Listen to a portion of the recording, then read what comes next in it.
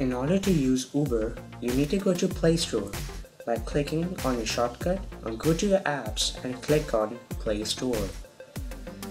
And as you give a click on Play Store, you need to search over there Uber. So go to your search bar and type Uber. U B E R. Okay, and play. You can see over here Uber. You need to click it, and as you're going to click on it, the page will load. And since you can see it's written open instead of download, it's because I have already downloaded it.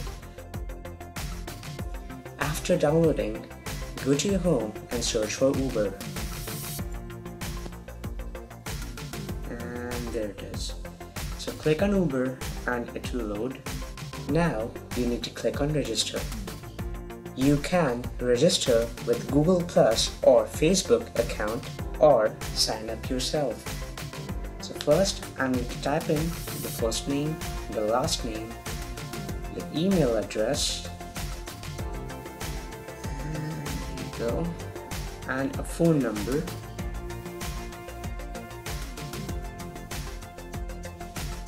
We need to type a password that should do. Then click on next. The fun part is the driver will never ask you for money. Instead, you need to have an international credit card or you can go with a Paytm wallet. So let me tell you how to install a Paytm wallet. So go to your home, then search for Play Store, then type over there Paytm wallet then click on download. Then go to your apps and search for Paytm Wallet. Click on Paytm Wallet.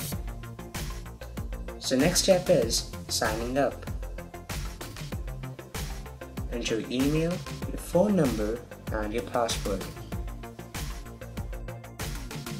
The minimum amount of rupees that you need to have to fetch a ride is rupees 200. So click on add money, enter the amount of rupees 200 and click on add money.